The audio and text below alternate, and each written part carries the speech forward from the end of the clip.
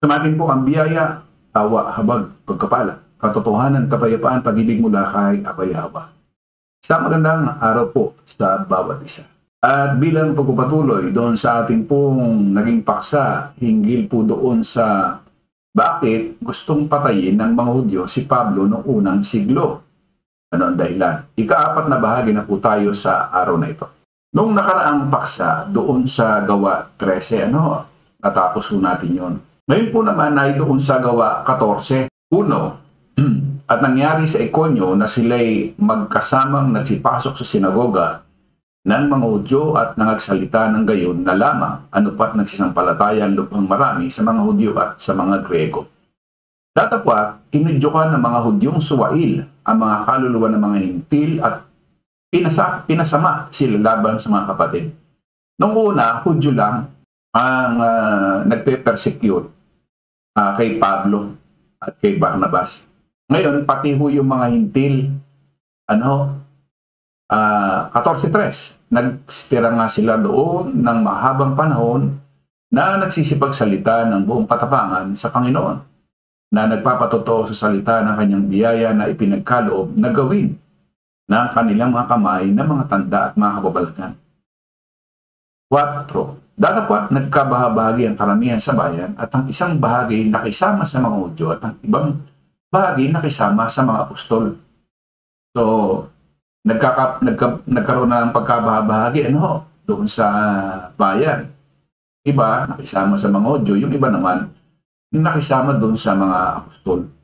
5. At nang gawin ang pagdaluhong ng mga hintil at ng mga Hudyo, magkasama ng dalawa, hintil at mga Hudyo, naman nakasama ng kanilang mga pinuno upang sila'y halayin at batuhin.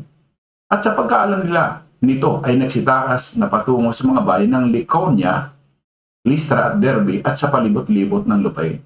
At doon nila ipinangaral ang Ebanghelyo. Nakita na po natin, nagtulong na ang Hudyo at saka yung mga hindi. Fast forward po tayo dito sa 16 ng gawa. Sabi ho dyan, uh, sa 16, 16, yan, nagkabaho. At nangyari na, na nang kami nagsiparoon sa mapapana langinan ay sinalubong kami ng isang dalagang may karumaldumal na espiritu ng pangugula at nagdadala ng maraming pakinabang sa kanyang mga Panginoon sa pamagitan ng pangugula. 17. Siya ay sumunod kay Pablo at sa amin at nagsigaw at sinasabi, mga alipin ng kataas-tasang Diyos, ang mga taong ito na nagsisipangaral sa inyo ng daan ng kaligtasan. At maraming mga araw na ginawa niya ito. Datapot palibasay si Pablo ay totoong nababagabag ay lumingon at sinabi sa Espiritu, Iniutos ko sa iyo sa pangalan ni Yahweh na lumabas ka sa kanya. At ito ay lumabas ng oras ni Ngiyon. Datapwat nang makita ng kanyang mga Panginoon na wala na inaasahan nilang kapakinabangan, ay hinuli nila si Pablo at Silas at kinaladkad sila sa pamilihan sa harapan ng mga may kapangyarihan. At nang maiharap na, sila sa mga hukom, ay sinabi nila, ang mga lalaking ito, palibhasay mga Hudyo, ay nagsisipanggulong totoo sa ating bayan. At nang nangahayag ng mga kaugaliang hindi matuwid nating tanggapin o gawin, palibasay tayo'y mga Romano. So, iba na naman ho ito. Ano? And then sa 22, at samantalang nagsitindig ang karamihan laban sa kanila at hinapak ng mga hukom ang kanilang mga damit at ipinapalo sila ng mga panghampas. At nang sila'y maipalo na nila ng marami, ay ipinasok sila sa bilangguhan na ipinagtagubilin sa tagapamahala na sila'y bantayang maigi. Na nang tanggapin nito ang gayong tagubilin, ay ipinasok sila sa kalooban ng bilangguhan at piniit ang kanilang mga paa sa pangawan. Kita po natin. So naibilanggo na sila, no? Dahil lamang sa ginagawang pangaral. Uh, 25. Datapot ng maghahating gabi na si Pablo at Silas ay nagsipanalangin at nagsiawit ng mga himno sa Diyos. At sila'y pinakinggan ng mga bilanggo at kabinsa-dinsay nagkaroon ng isang malakas na lindol. Ano pa nang nagsiuga ang mga patibayan ng bahay bilangguan at pagdakay nang abuksan ang lahat ng mga pinto at nangakalas ang mga gapos ng bawat isa. At ang tagapamahala palibas ay nagising sa pagkakatulog at nang makitang bukas ang mga pinto ng bilangguan, ay binunot ang kanyang tabak at magpapakamatay. Sana sa pag-aakalang nakakatakas na ang mga bilanggo. 28. Datapat sumigaw si Pablo ng malakas na tinig na sinasabi, Huwag mong saktan ng iyong sarili sapagkat nangarito kaming lahat. At siya'y humingi ng mga ilaw at tumakbo sa loob at nanginig sa takot at nagpatira pa sa harapan ni Pablo at ni Silas. At siya'y inilabas. Sinabi, mga ginoo, ano ang kinakailangan kong gawin upang maligtas? At kanilang sinabi, manampalataya ka sa Panginoong Yahweh at maliligtas ka, ikaw at ang iyong sangbayan.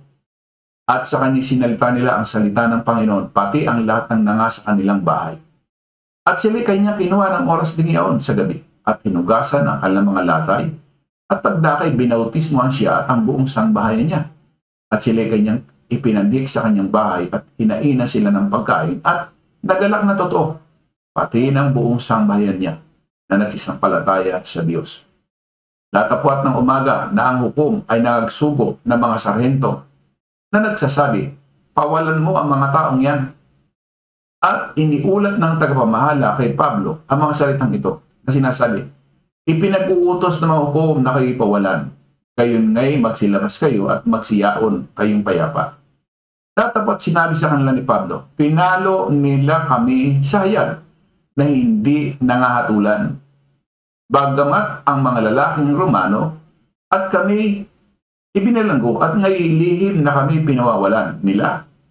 Tunay na hindi nga, kundi sila rin ang magsiparito at kami pawalan at iniulat ng mga sarento ang mga salitang ito sa mga hukom at sila'y nangatakot ng kalang marinig na sila'y mga Romano. At sila'y nagsiparoon at ipinamanig sila, ang kanilang nailabas na sila, ay hiniling nila sa kanila na magsilabas sa bayan. At sila'y nagsilabas sa bilanggo at nagsipasok sa bahay ni Lydia. At nang makita nila mga kapatid ay kanilang inaliw at nagsialis sila. So, maliwanag ano, na yung mga Romano nangatakot kasi nung maring nila na si Pablo ay Romano rin. Ano? Ayan. Kaya sabi nga doon sa 22-29 ng gawa, pagkaraka ngayon nagsilayo sa kanya, ang mga sa kanya sumusulit at ang Pangulong Kapitan din naman ay natakot nang maalaman na siya'y taga-Roma at dahil sa pagkakagapos niya sa kanya. So ito ay mga ilang bahagi ng kasulatan na isinulat ni Lucas ano ho, para ho doon sa kalaman ng ating mga taga-subaybay. Ibig sabihin lamang dito, hindi lamang mga Hudyo ang gustong pumatay, pati ho yung mga hintil at pati rin po yung mga taga-Roma. Ano, yan. So, nagtutulong-tulong sila. Uh, anong dahilan? Bakit ganon? Doon sa ginagawang pangangaral ni Pablo? Oh, di ba? So, ibig sabihin, talagang kalaban na ng mga Hudyo. Oh, nung una pa, kasi si Pablo ay dating pariseo. Di ba? Na noong nasa mga gawa, kung babalikan ho natin yung istorya, sa gawa 9, di ba, siya yung ano, ang sabi mo doon, datapot si Saulo na sumisilak pa ng pagbabanta at pagpatay laban sa mga alagad ng Panginoon ay naparoon sa dakilang saserdote at humingi sa kanya ng mga sulat sa Damasco sa mga sinagoga upang kung siya'y makasumpong ng sino man sa mga nasa daan, ibig sabihin nasa kapulungan, maging mga lalaki o mga babae, sa kanya'y sila'y madalang gapos sa Jerusalem. Dati siyang taga-usig. Uh, dumating yung pagkakataon na dating manguusig siya, ngayon, siya ngayon ang inuusig nino ng mga Hudyo, hintil, mga taga-Roma. Ano? So, maliwanag ko dito yung ating uh, pinag-aaralan na talagang merong dahilan ah, para sila ay para patayin si na Pablo ano yung mga alagad anong dahilan doon sa pangangaral niya uh, na konberte doon sa kapulungan dating mga uh, nasa siya pariseo Hudyo hmm. ngayon oh, dahil doon sa kanyang pangangaral na ibinahagi, itinuro ni Abayahawa sa kanya ng pangangaral na dapat yun ang ipangaral doon na nagkakaroon na ng uh, pagkaingit ano? So yun no ang isang mga dahilan. At hindi lamang ho yan ha? Kasi napakaraming pagkakataon pero yun nabilanggo na siya. O pati yung uh, kasamahan niya sa bilangguan dahil doon sa kanilang ginagawang pangaral. Ano? So yun po, yan po yung ating uh, ikaapat ano, na pagtalakay dyan sa bakit gustong patayin ng mga Hudyo si Pablo noong unang siglo.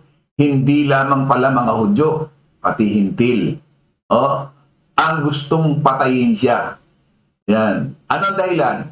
O, siyempre, unang-una dun sa pagkakonberte Ayan. Kaya ngayon, uh, marami ang ayaw kay Pablo dahil dun sa kanyang ginagawang pangaral. Kasi nga po, hindi po lulutang sino man doon sa mga founder na nagsulputan maging no ika-anim na siglo o yung ikalawang siglo, ikatlo, ikaapat, ikalima, ika-anim na siglo hanggang sa panahon ngayon kaya galit na galit sila. Oh, hindi ang mga Muslim ang nauna para magalit kay Pablo. Ah, may mga Hudyo, Hintil, taga-Roma ang nagalit na nung una, nung una pang siglo. Ano? So hindi na ito